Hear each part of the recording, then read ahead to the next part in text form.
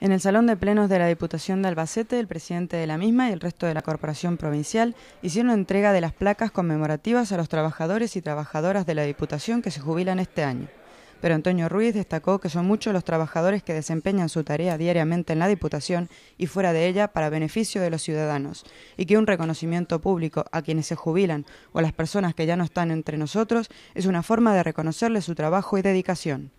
Cada año, pues 10, 15 personas pues acaban su carrera profesional. Unos los hacen porque ya de forma forzosa cumplen la edad y han de jubilarse.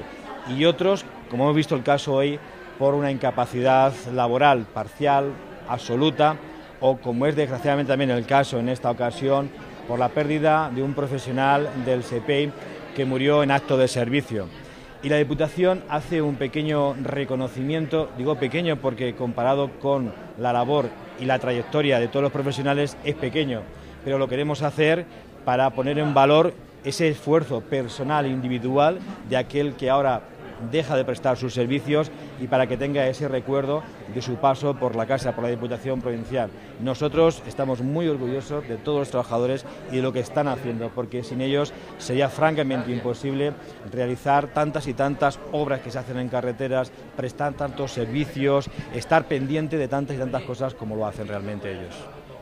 Sin embargo, el acto de este jueves 3 de diciembre tenía una nota triste, ya que también se le hizo entrega a la mención honorífica a la viuda del bombero José Sánchez Ruiz, fallecido en acto de servicio el pasado 3 de noviembre en Villarrobledo. Como consecuencia del accidente del día 3 de noviembre eh, murió eh, José Sánchez Ruiz y otro bombero también, Francisco Palomares, resultó herido. Eh, se acordó en el último pleno ordinario no en este sino en el anterior, una mención especial a ambos, uno a título póstumo y otro también un reconocimiento público a Francisco Palomares, que no ha podido asistir porque en estos momentos se encuentra pues en franca recuperación, pero todavía los médicos no aconsejen que pueda eh, salir del ámbito propio de la recuperación médica. Y evidentemente sí que le entregábamos esa mención especial que eh, es fruto de un, eh, de un acuerdo que nace de un reglamento que rige los servicios que el SEPEI, el Servicio de Extinción de Incendios de Albacete, tiene previsto. Y hacíamos esa entrega. Sí, la verdad es que es muy emotivo. Aquí estaba su madre, estaba su viuda y bien, pues, eh, pues echándole valor ha venido a este acto, para ellos muy, muy dificultoso por, porque hace muy poco tiempo, pero para nosotros pues el recuerdo y también el ejemplo de, José pues eh, sigue sirviendo para que esas otras centenares de personas que prestan sus servicios, pues que se den cuenta también de que el trabajo a veces, desgraciadamente, tiene un precio, ¿no? Uno de los compañeros del bombero fallecido y del oficial que resultó herido en el mismo siniestro habló con los medios para contar cómo se encuentran el resto de compañeros en este día y el estado de la familia del fallecido.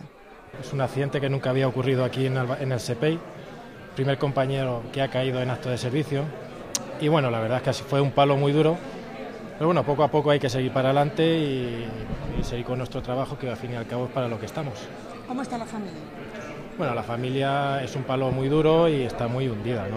Lógicamente, el tiempo, bueno, pues imagino que lo suavizará un poquito, no curarlo, porque esto nunca se olvida, y poco a poco.